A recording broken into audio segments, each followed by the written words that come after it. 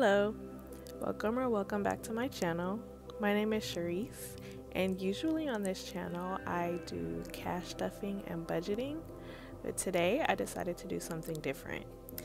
So I'm going to bring you along as I set up my bullet journal for 2022, and if you like to see me set that up, stay tuned. First, I'm going to start off by showing you the tools that I use. Here I have a few markers, a pen, and a ruler. Of course, I have my journal by Minimalism Art, which I will link down below. I've used this journal for um, past three years, um, and I've been bullet journaling for about four years. First, we're going to start off with my title page. I went back and forth about doing this page, but decided to go ahead and include it. Um, so I went ahead and first did the year 2022, and then I decided to highlight my word of the year, which is self love.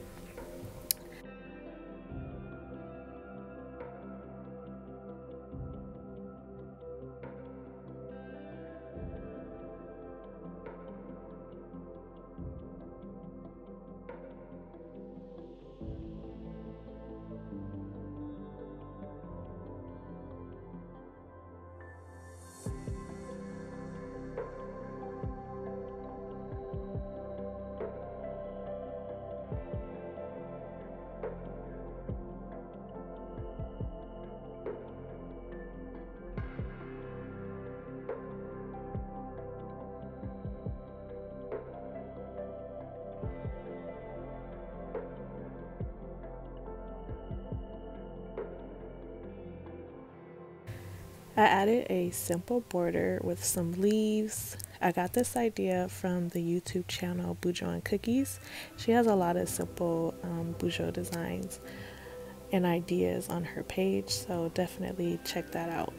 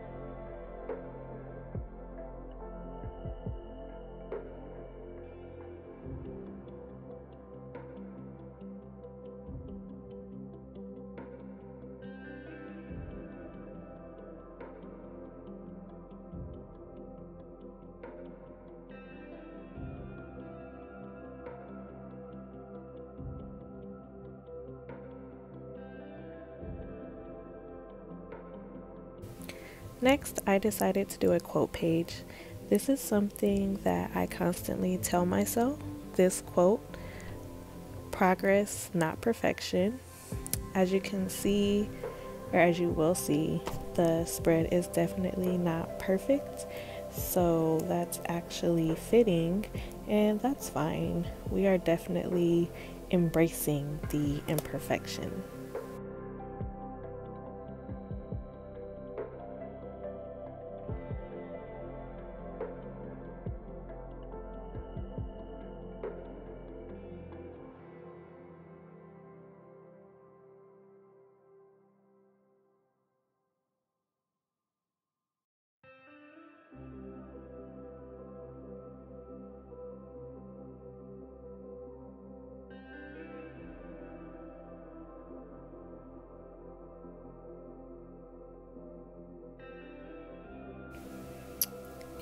I kept it simple and did the same border on this page with the leaves that I did on the title page.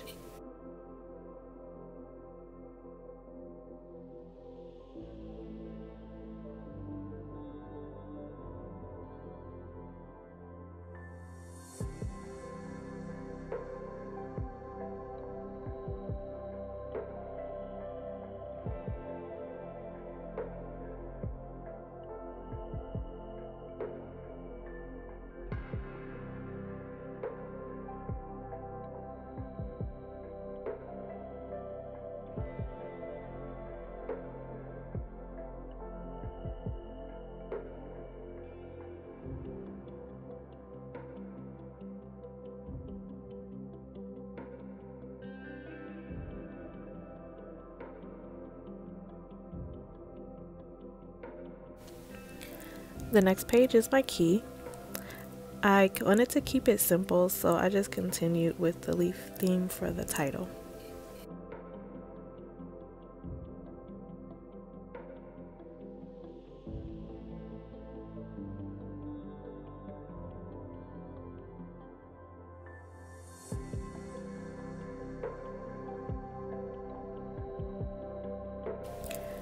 After I did my title, I counted out the boxes. I usually divide my spreads into thirds, so after I counted the total boxes going across, I went ahead and did it in thirds as well.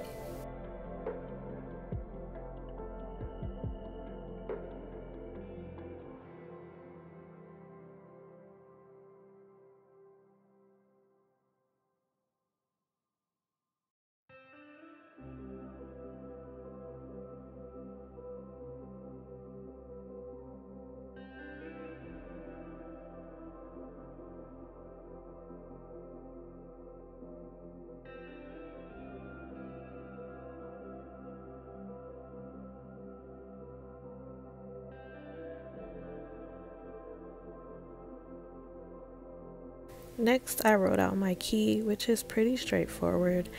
I've used the same key since I started bullet journaling and it works for me. Bullet journaling is individual, so definitely use what works for you.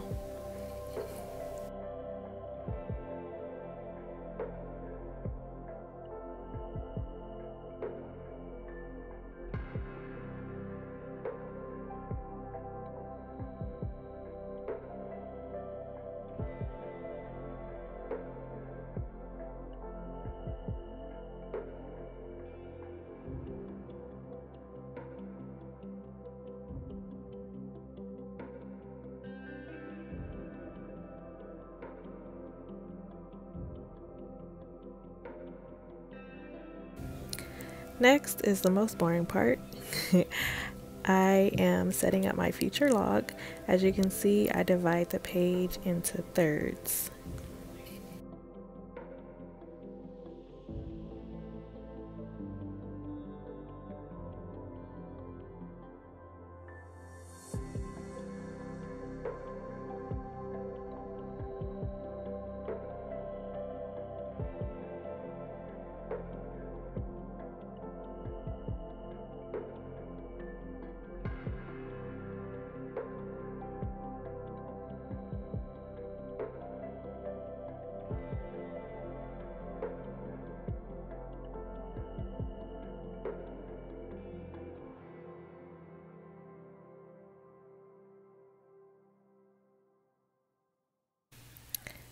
I grabbed my laptop so that I could use the calendar and you guys I still messed up. Uh, I left this clipped in just to show you the way I use my white pen to correct small mistakes. You can definitely use whiteout if you want. I just have this white pen and that's what I use if it's something small.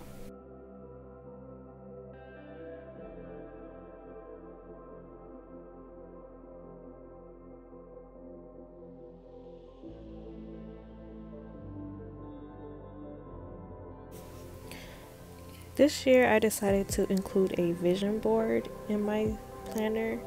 I think having the vision board in my planner that I use daily will serve me better because I'll look at it often.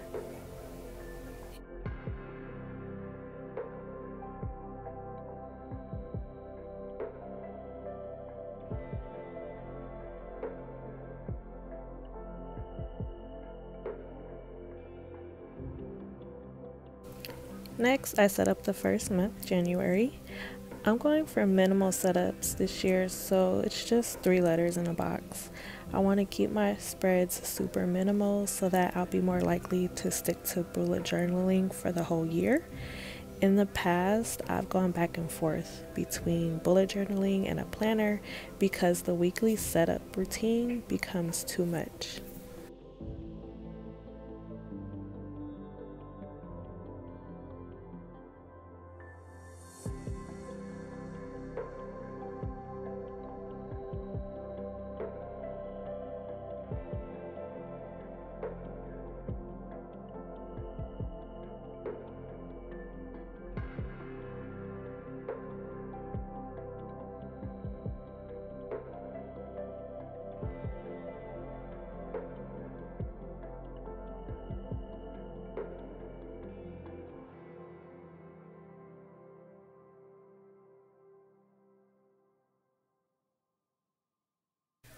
Uh oh.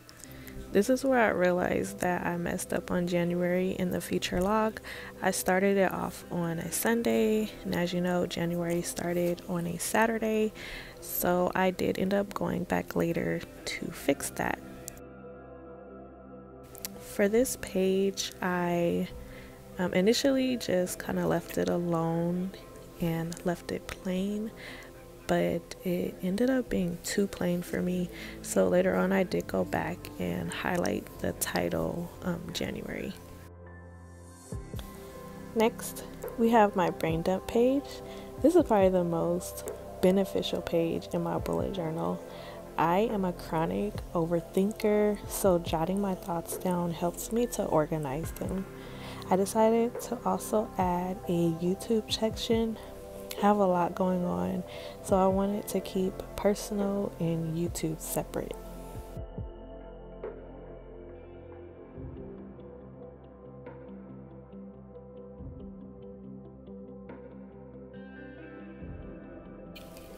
Next, we have my weekly spread, again, super minimal. I divided the page into thirds and created the heading at the top of each column for each day of the week. I'm happy with the way that the spread came out as is, but I did go back later and, you know, sticker it up. I like that this spread is easy to set up for the weeks that I just want something minimal.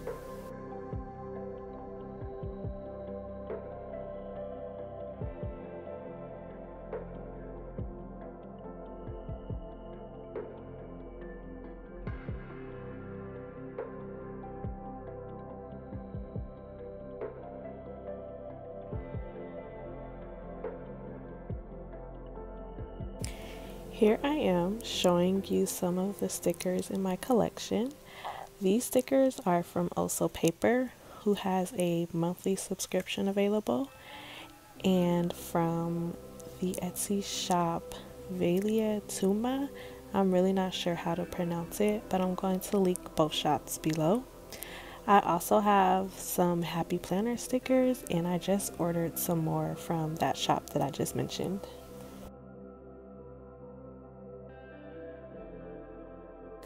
I use stickers to um, decorate my weekly spreads usually.